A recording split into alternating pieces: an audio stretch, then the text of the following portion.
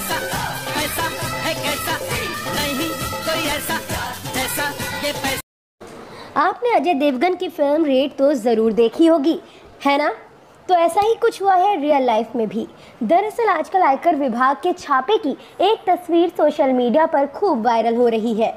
तस्वीर में एक अलमारी नज़र आ रही है, लेकिन ये कोई ऐसी वैसी अलमारी नहीं है, बल्कि इसमें 142 करोड़ से ज़्यादा की नकदी ठूस ठूस कर रखी गई है।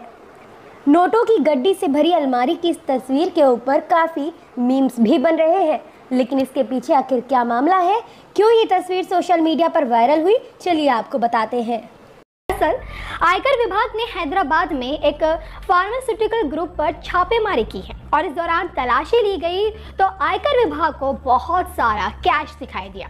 ये सारा कैश एक अलमारी में रखा हुआ था और इसे गिना गया तो ये टोटल 142 करोड़ रुपए निकला। सोचिए 142 करोड़ रुपए कैश एक अलमारी में रखा हुआ था। तो आयकर विभाग ने छापेमारी कर इस कैश को बरामद कर लिया है।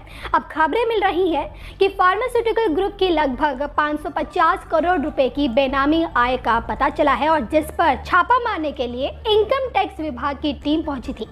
आपको जानकर ताजुब होगा कि ये कैश सीज इस वित्तीय वर्ष की सबसे बड़ी कैश सीज है। खुद अधिकारी भी इतना कैश देखकर हैरान रह गए थे। अलमारी में 500 और 2000 के बहुत सारे नोट रखे थे। आपको ये भी बता दें कि छह राज्यों के नामी ग्रुप्स की बेनामी संपत्ति का पता लगाने के लिए आयकर विभाग ने ये रेड 6 अक्टूबर को मारी थी। ये रेड लगभग देखिए 50 जगहों पर हुई थी और इनमें से फार्मास्यूटिकल ग्रुप से 142 करोड़ रुपए का कैश बरामद हुआ। तो हर तरफ़ इसी के चर्चे होने लगे हैं।